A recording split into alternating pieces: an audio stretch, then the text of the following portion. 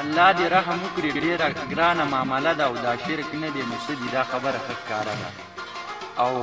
مشرکه که بوتان ځان له خدایان نیولي دي او مسلم و هر مراد د باباګان نیولي دي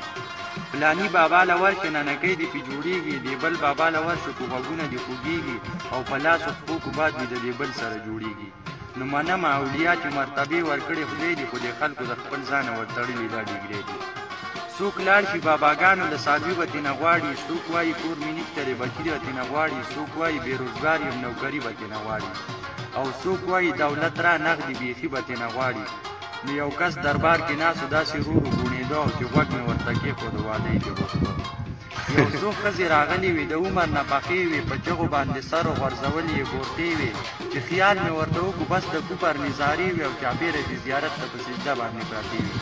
څه بل شان عجیبه غوندې سوالونه یې کول او د قبر چې څه کاڼي وو دوی ځان پورې مږل. نو د یوې ویل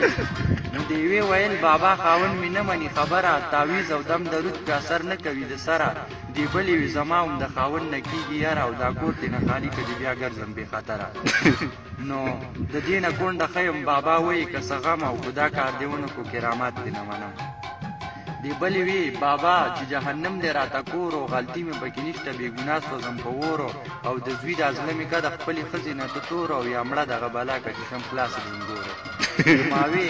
هماوی خانه دا سوال لیده که او قابل خو نه دی او یې ترور دا بابا دی اجرتي قاتل خو نه دی دا ښځې چې انګاره بیا په لار مشغولېدلې یو بل سره یې خپلې مسلې بیانولې